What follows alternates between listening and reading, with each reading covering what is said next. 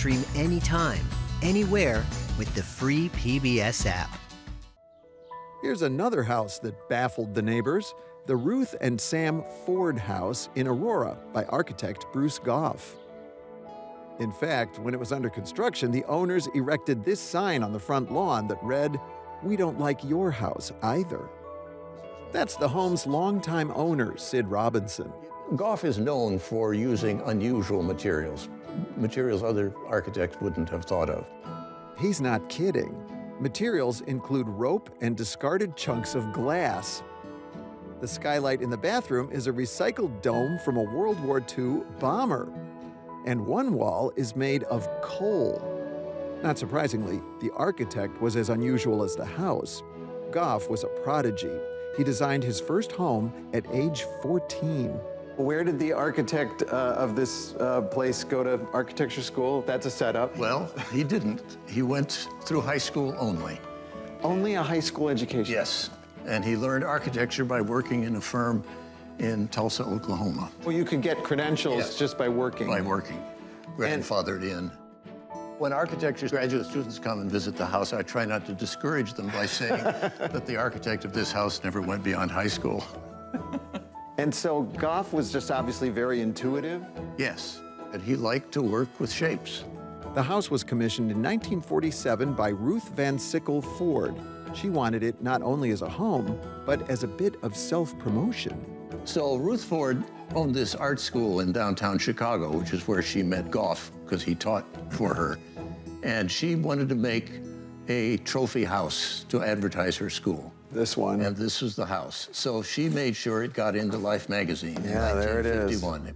And was it was it a pretty uh, good uh, propaganda job in here on the? I've, I've never understood what the consequences were of whether this made a difference or not. Yeah, but it made a difference in the traffic outside. Oh, it certainly did.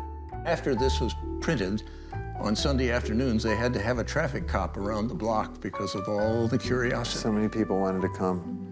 Ruth felt the house really did bring notoriety to the Chicago Academy of Fine Art, where she was president and director for more than 20 years.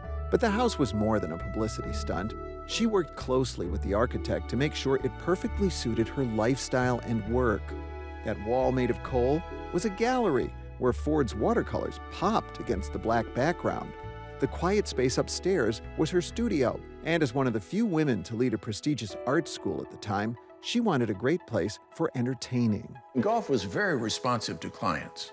She liked to have her guests not separated from her when she was cooking. Her mother lived with them for one year, Oh. so the two bedrooms are completely separate with their own bathrooms. When I look at this house, it feels like it's it's modern and it's primitive. Yes.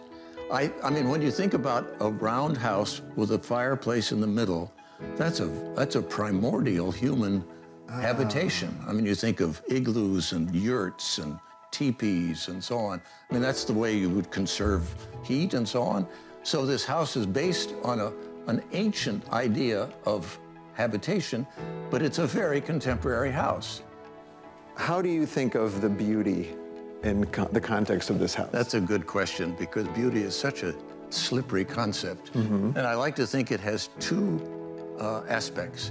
It has the circular geometry, which is very calming, and the stimulation of the textures and the colors. So it's beauty that's active and beauty that's quiet oh, that's nice. I was going to say that's beautiful. in the same building, yes.